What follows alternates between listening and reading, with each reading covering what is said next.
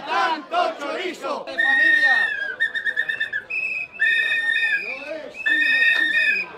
No es una crisis, es una estafa. Nosotros, como siempre, pedimos la entrevista con el director o la directora, le entregaremos el comunicado y después, con tranquilidad, como siempre, nos iremos.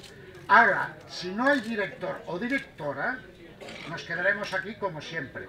Y tranquilo, no pasa nada. Si no tenemos nada, y además ahora me parece que la, la Antonia ha traído verbú, pues no lo vamos a tomar.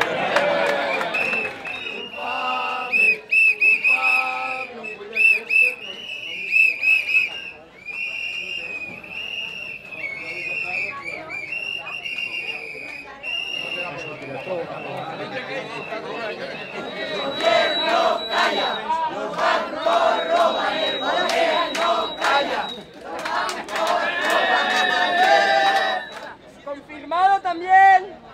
Y a los platos han ocupado Bankia en Madrid, en Palma y ahora también en Valencia y en Sevilla.